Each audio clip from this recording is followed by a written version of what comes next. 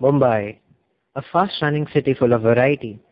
Worldwide, it is known as the Sapno Ki Nagari, the city of dreams. Here, the day begins at 4 a.m. People here are always on the run, reaching the bus stop on time and trying to jump in the crowd hanging at the door, running from one platform of the station to the other just to try and catch a train. They risk their lives to reach their destinations on time because even if they call it a city of dreams, they have a real hard time with their boss. Conclusion is that a large amount of people travel from one end of the city to the other just to reach their dreams and earn their bread. Well, bread tastes good, but it is considered to be unhealthy. And such is exactly the problem of the Mumbai city. More than Mumbaikars, you will find here the Mumbai junkies. Junk food is the third lifeline of Mumbai. It has become as good as a staple food of the city.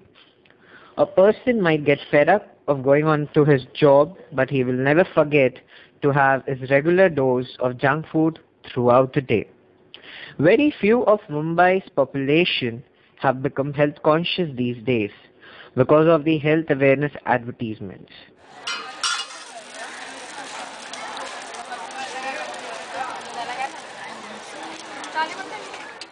Every person in Mumbai has a different perception about junk food. For few it is unhealthy, while some say that it is good because it is tasty and is easily available when you are on the run. Junk food is an informal term given to some foods which are considered to have little or no nutritional value or to products with nutritional value but which also have ingredients considered unhealthy when regularly taken in or to those considered unhealthy to consume at all. Foods more likely to be considered junk food generally are those that are more convenient and easy to obtain in a ready-to-eat form. Junk food is a cultural definition applied to food made outside the home that often is widely considered to taste good. In many cases to children and teenagers, or to adults who have developed a taste for the food since childhood. Factors contributing to labeling as junk food are high levels of refined sugar, wheat flour, trans fat and saturated fat, sodium or salt, and additives such as preservatives and coloring agents. Others include lack of proteins, vitamins, fiber, and other nutrients popularly considered part of healthy diet. What influences people to have junk food may be confusing and includes elements of class snobbery, sense of taste, cultural factors, and moral judgment. Junk food is like something which is uh, being made on the streets, basically.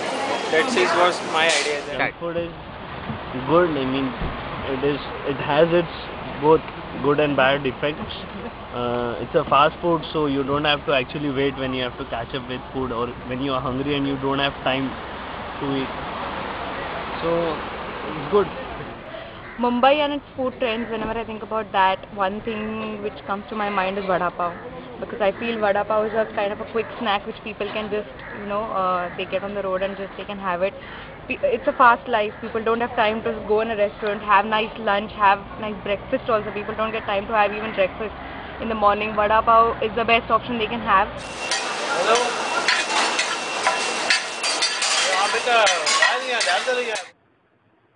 The availability of junk food stalls on every street makes it harder to resist the temptation of feeding on vada pav, samosas, pav bhaji, pani puri, bhel puri, sandwiches, frankies, pizzas, and burgers. The many convenience stores for ice cream, chocolate bars, and potato chips do not make it any easier. All in all, the temptation to eat the wrong kind of edibles is everywhere. When we speak of street food, the fact that it's cooked in unhealthy conditions makes it unhealthier than the same food made at home. Coming to the latter, fast food is a kind of food item which can be made and served quickly. A meal with relatively low preparation time can be considered as fast food. So junk food, irrespective of where it is made, is on the basis of how much value it contains in terms of nutrients that we get to decide what junk food is. Moreover, junk food, apart from adding up empty calories, also causes harm to the eater. The biggest irony regarding junk food is the fact that it's mostly prepared out of the healthy food. In many items coming within this periphery of the term, vegetables are used as the main ingredients. Consider a pizza loaded with a thick vegetable topping. The junk factor comes from the cheese sprinkled over the vegetables. Even though cheese is good for health, an excess of it is not recommended. And of course, the pizza base made out of refined flour does contain empty calories. Now, the burger, which is a favorite of a majority of junkies, contains an oily tikki and vegetables like lettuce, cabbage and tomato sandwiched between the two buns. Although tikki is what we usually consider as a type of side meal or a starter. What makes the burger junk is the refined flour that's used to make the buns and the oodles of mayonnaise and butter added to the filling so that the three layers stick to one another even while eating. Coming to Mumbaian junk food, locally called chaat. These mostly include the very famous samosas, kachoris, panipuris and cutlets. These are fried items with various fillings within an outer layer made of refined flour. Even Chinese food sold in roadside stalls is junk food because they contain a high amount of monosodium glutamate, MSG, which is a flavor enhancer. MSG is recognized as a health hazard if taken in large quantities. There is one section of the society which actually challenges the definition of junk food. If a person's body is deficient in fats or carbohydrates, then this supposed junk food would actually nourish his body. Of course, there is no doubt the food items that are high in fat, sugar or salt are unhealthy. But again, what applies to one individual may not apply to another. And people need to apply some common sense and decide for themselves what is right for them and what's not. It has been proven that high fat or sugar foods do lead to obesity, increase in cholesterol, high blood pressure, and eventually cardiac problems such as angina. Explain And even after knowing this, they go for it, either because they want to have a quick bite, or they love the taste, or maybe they want to eat something different from their usually boring homemade food. One thing is taste. I like the taste of junk food. I mean, uh, you see uh, pizzas, burgers, and everything.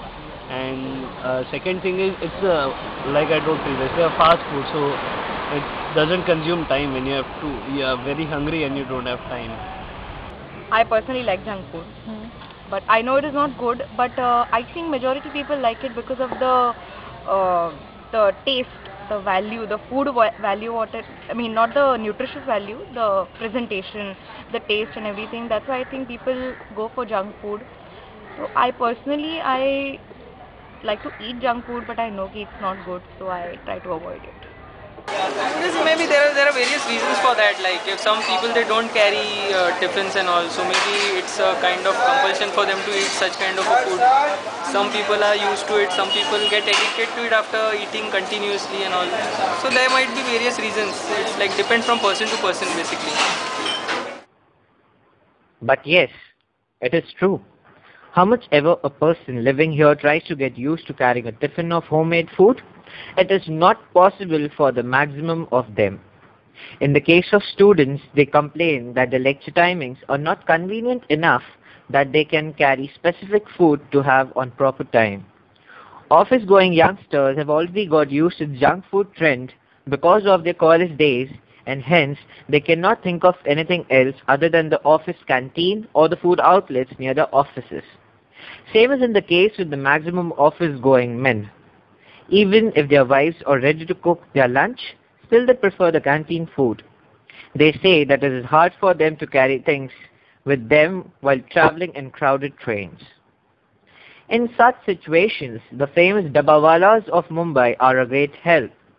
Instead of going home for lunch or paying for a meal in a cafe, many office goers have a cooked meal sent either from their home or sometimes from a caterer who delivers it to them, essentially cooking and delivering the meal in lunch boxes and then having the lunch boxes collected and resent the next day.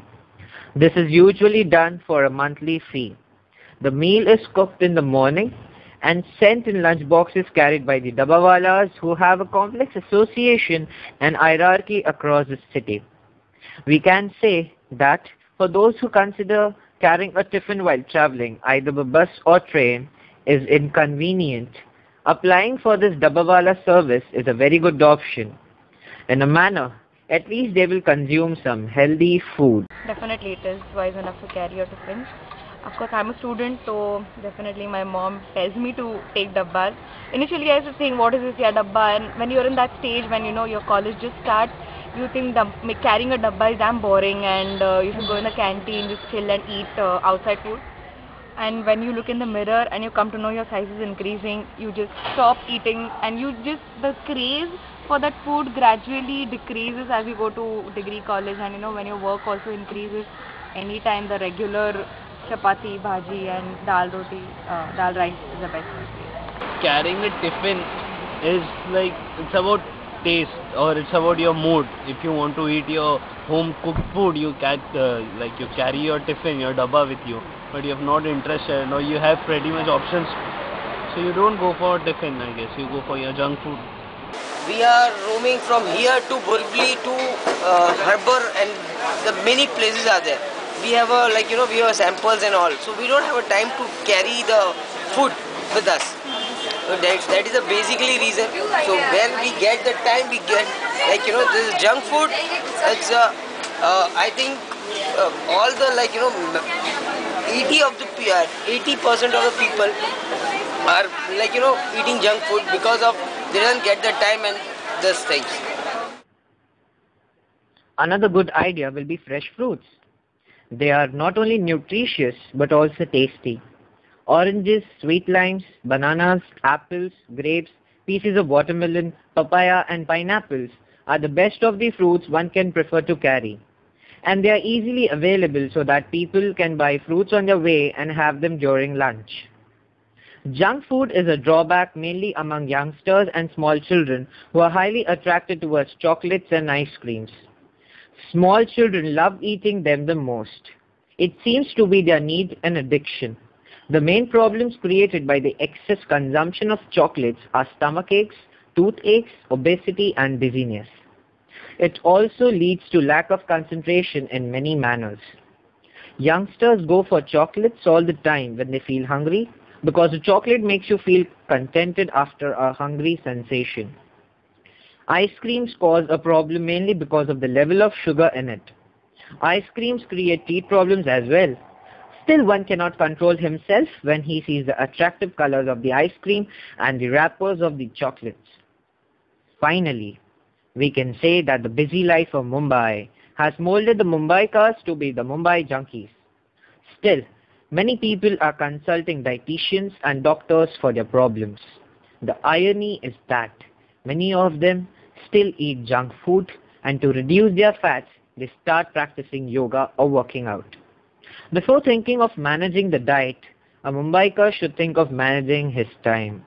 Unless and until he doesn't learn to manage his time, he will not learn to manage his diet. People here are known for running with the time, but few more efforts will prove to be a boon. After all, it is the Mumbaikar who keeps the Mumbai running.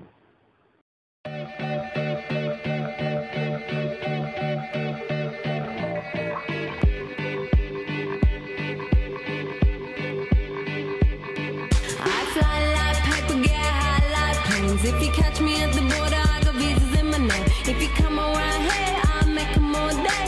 I get one down in a second if you wait. I fly like paper, get high like planes. If you catch me at the border, I got visas in my name. If you come around here, I'll make them all day. I get one down in a second if you wait. Sometimes I think sitting on trains